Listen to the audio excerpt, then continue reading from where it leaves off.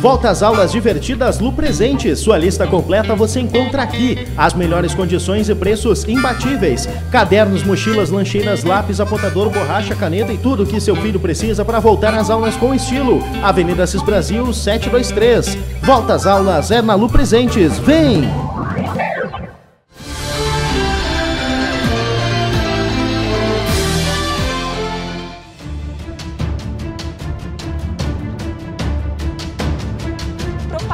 Governo. Os gastos excessivos de Michel Temer com propagandas publicitárias estão no comentário político de José Lopes Feijó.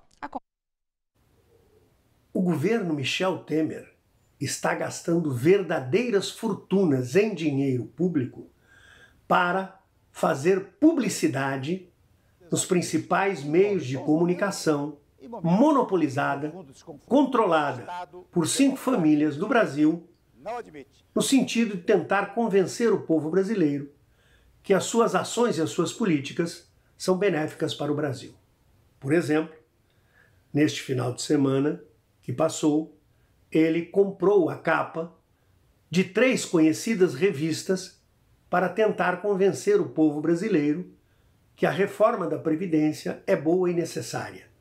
A reforma da Previdência que é absolutamente rejeitada pela maioria esmagadora da população brasileira.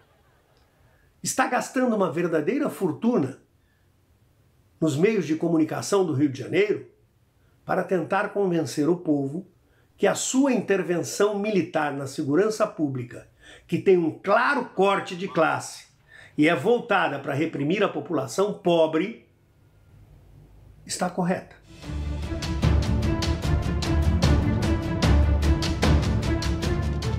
Precarização nas relações trabalhistas tem crescido após a entrada em vigor da nova lei que substituiu a CLT.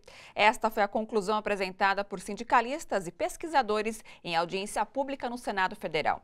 Entre os principais motivos está o abuso dos patrões que ignoram o lado humano do trabalhador e exploram a informalidade quase sem limites oferecida pela reforma. Na audiência no Senado Federal, representantes sindicais denunciaram o aumento da informalidade no setor depois da reforma trabalhista, em vigor desde novembro do ano passado. No período foram retiradas 726 mil pessoas do mercado formal.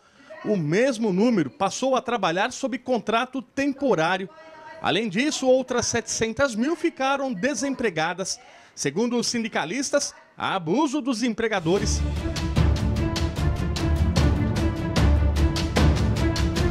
Militares que atuam na intervenção ordenada pelo governo Temer destruíram barricadas usadas por traficantes, revistaram carros, motos e seus ocupantes em três favelas do Rio de Janeiro. Moradores da vilas Kennedy, Aliança e Coreia, na zona oeste do Rio, foram constrangidos, obrigados a posar para foto com documento de identidade.